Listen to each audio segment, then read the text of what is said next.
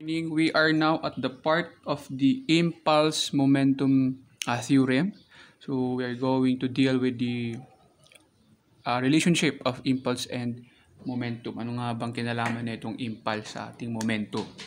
Okay? So this um, impulse momentum relationship is uh, based okay on the Newton's second law of motion okay, wherein you have the concept of force, mass, acceleration. Okay, so pwede rin natin siyang ma-state, okay, ma-restate yung uh, Newton's second law of motion, okay, ng impulse and momentum theorem. Okay, so sabi natin dito, yung impulse, okay, malalaman natin yung impulse na experience ng isang object if we uh, get the values of force and then the time interval. So when there's an object and then you apply a force on that object and then you have okay a given time then it experiencing uh, that's what we call impulse okay since force is SI unit Newton time is second so the SI unit of impulse represented by I is Newton second And we know that momentum is P is equal to mv. So, sayang na na tayo dyan. P is equal to mv. Ngayon, ano ba ang kinalaman okay, ng, uh, ng impulse and momentum sa isa't isa? Anong kinalaman ng impulse momentum? Kinalaman ng momentum sa impulse. Okay, ito yung kanilang relationship. Okay, ang relationship is yung change, yung pagbabago ng impulse, okay, of the force, okay, is nababago niya yung momentum ng isang object. Meaning to say, nagbabago, okay, pwede rin natin sabihin na nagbabago yung momentum kapag may pagbabago doon sa impulse of the force na in-apply mo sa isang object. So, yun yung kanilang relationship. Okay, we could, in mathematical equation, okay, since changes momentum, okay, also basis on uh, basis of change of the impulse of the force they are equal okay? So when we say change of course there is final state and initial state. Katulad nung pinag-aralan natin ng grade 7 parang acceleration no? Merong uh, final velocity minus initial velocity over final time minus initial time something like that. So ito na naman tayo ng mga v-naught v-naught na yan. So when we say again not that is zero not no yung parang okay, yung ginagamit natin sa tools, no? So, not below zero, so meaning this initial state. So, we know mv is from the momentum. So, final momentum minus initial momentum, that is the changes in momentum. And again, on the impulse, okay, we have the force, the product of force, and then the time interval. So, there's a time interval. Merong TF minus TI yan. Final time minus initial time. Okay.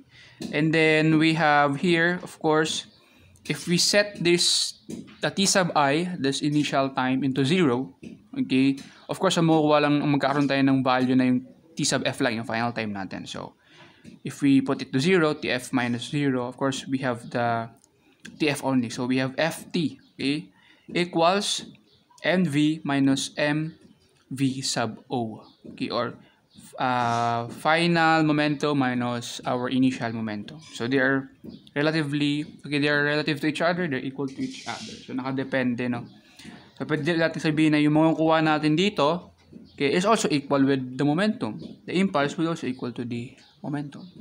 So let us have the sample problem 16.6. Alright, on the sample problem 16.6, Okay, ang sabi dito is a force of 56.0 Newton. Okay, on a 25.0 kilogram body for 12.0 seconds. So, hindi natin alam kung saang direction in-apply yung force. Basta may, nag, may force na in-apply sa 25.0 kilogram na body natin na mass na 56.0 Newton and we know that it is on 12.0 seconds. Okay, nangyari. So, sabi dito, find the imp the impulse, first find the impulse produced by the force. So hanapin daw natin yung impulse na na-produce ng force na to. And then secondly, uh, the resulting change in momentum of the body. Ano yung uh, nagbago sa ano yung pagbabago sa momentum ng object na to. Okay, considering yung ating impulse na na-calculate. And then thirdly, last, the speed of the body. Okay, pagkatapos ng 12.0 second.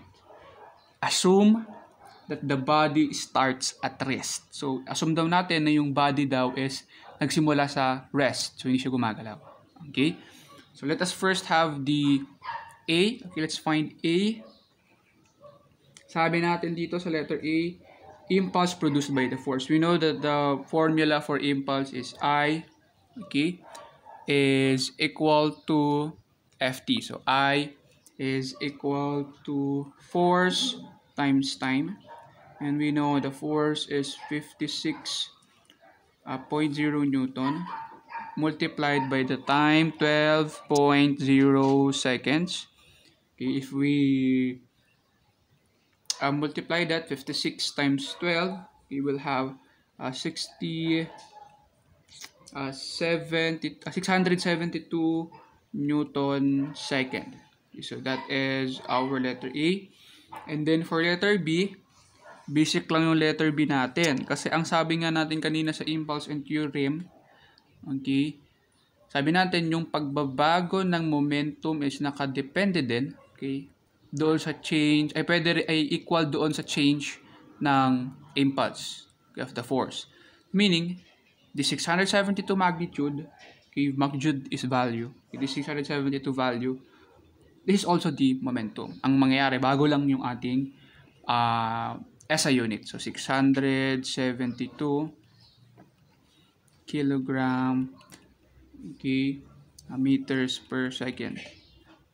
Kasi nga, di ba kanina ang sabi natin, F, T is equal to M, V minus M, V sub 0. So, equal lang sila na yung impulse, yung makukuha mo sagot sa impulse, equals dun sa momentum. So, kaya ito naging sagot natin. Yung nagbago lang ang SI unit. And for the third one, okay, ang sabi is uh, yung the, the speed of the body, what is the speed of the body at the end of 12.0 seconds, assuming that the body is at rest. So, using the impulse momentum, ihanapin daw natin yung speed ng body. So, we know that the formula is Ft, yan, is equal to mvf minus mv sub 0, final momentum minus initial momentum. We know that the impulse is 672 okay, 672 newton second.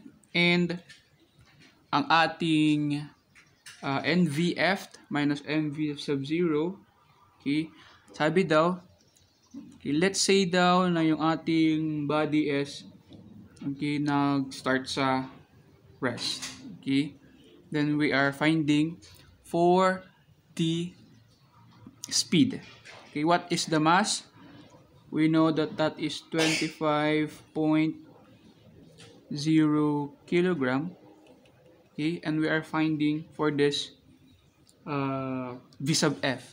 Okay, at the end of 12 seconds, we're finding the V sub F. Okay, the value for this is of course 25.0 kilogram pa rin naman yung body natin. Hindi naman nabawasan yung, team, yung ating mass. Yung sabi daw, V sub 0, assume the bodies are at rest. So, magiging uh, 0 to. Okay, 0 uh, meter per second. So, pag pinag-multiply mo in 0, 25, of course, mawawala to. 0 times 25, any number is multiplied by 0 is 0.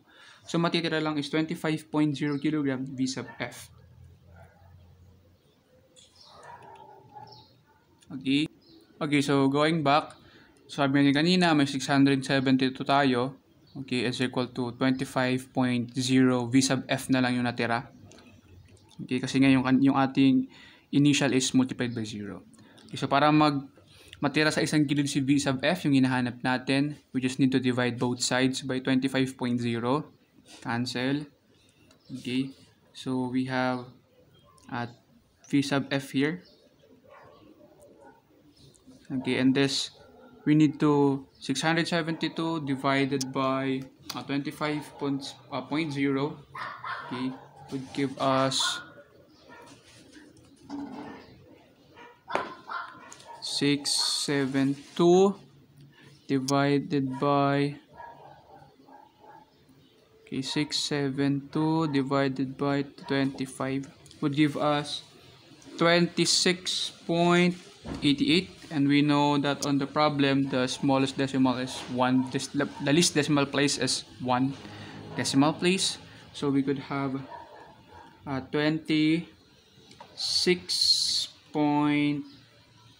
26.9 and we know the SI unit of velocity is meter per second.